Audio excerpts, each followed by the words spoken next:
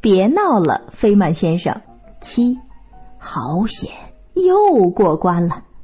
作者理查德·费曼，译者吴成远，朗读宝珍。念麻省理工学院时，我只对科学有兴趣，其他科目都不在行。但是学校有个规矩，你得修几门人文课程，好沾染一点文化气息。于是我拿着选修科目表，从第一行开始看起。没想到天文学被归入人文科目，那一年我就借着天文学逃过一劫。到了第二年，我又拿着选修科目表继续往下读，看看除了天文学之外还列了些什么玩意儿。终于。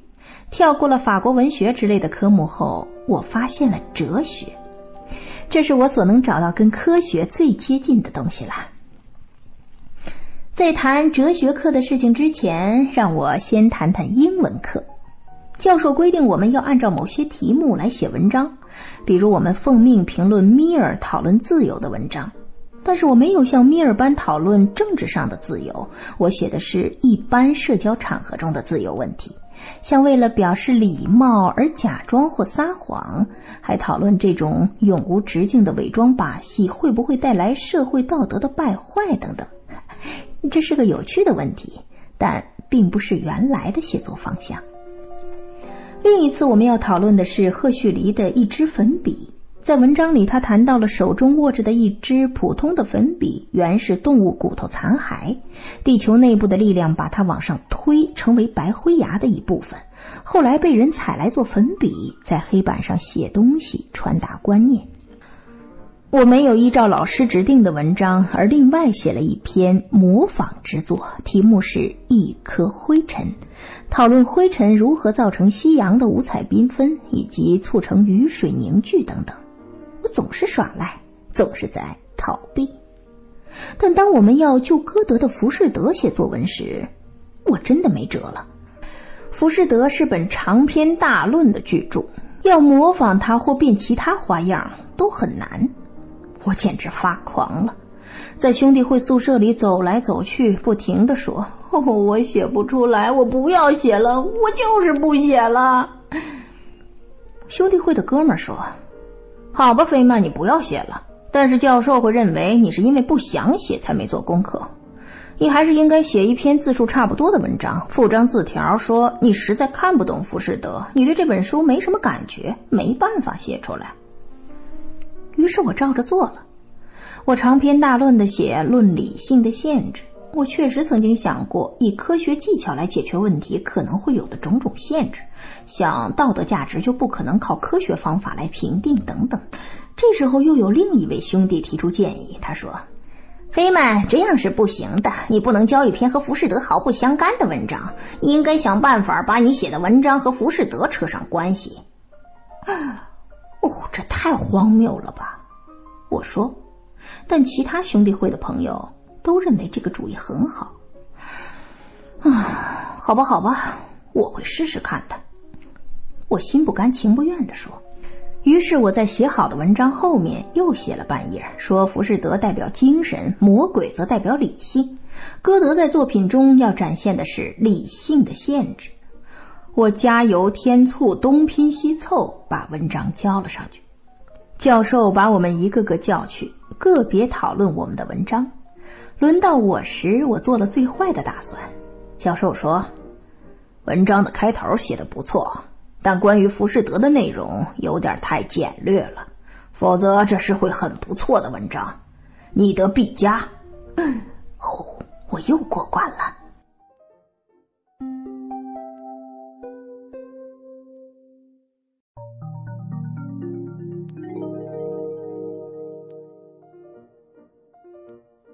现在谈哲学课，哲学教授是个留胡子的老先生，叫鲁滨逊。上课讲话时总是咕哝咕哝的，我一点都听不懂他在说什么。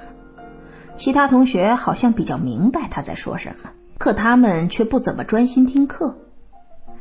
我有个十六分之一英寸粗的小钻头，上课时我总把它拿在手里，在鞋底儿钻孔打发时间。很多个星期我都是这样过的。终于有一天下课的时候，鲁滨逊教授又霍卡莫卡莫卡霍卡霍卡的咕哝了一阵，大家都很兴奋，纷纷交头接耳，讨论个不停。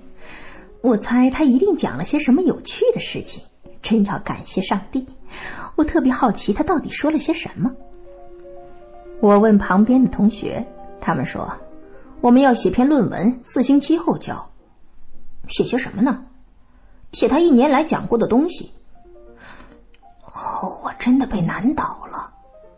整个学期我听过而刚好记得的只有一次，当他说“莫卡霍卡意识流”，莫卡霍卡，然后呼的一声又恢复一片混沌。但意识流这个名词倒是让我想到多年以前父亲问过我的一个问题。他说：“假定一群火星人来到地球，假定他们从来不睡觉，只是不停的活动，从来没有叫睡眠的这个现象。而他们问睡觉时有什么感觉？睡觉时到底发生什么事？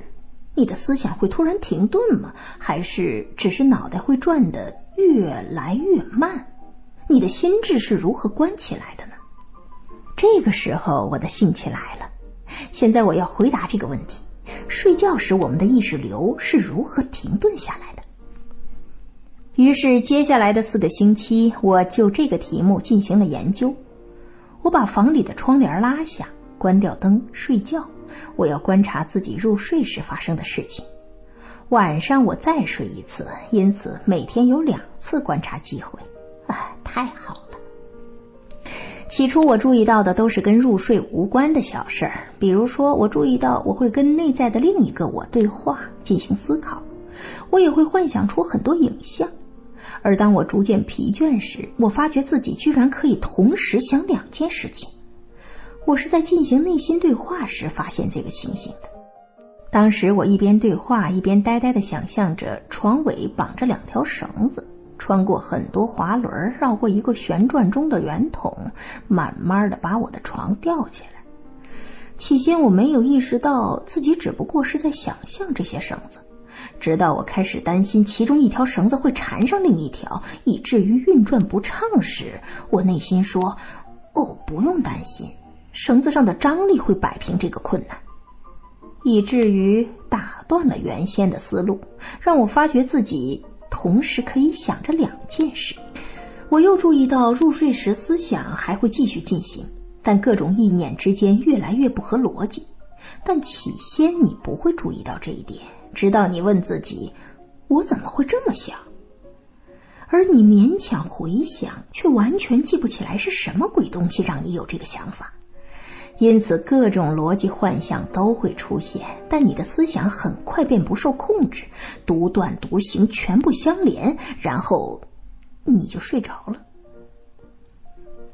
过了四星期昏昏沉沉的日子，我写了一篇论文，说明了所有观察结果。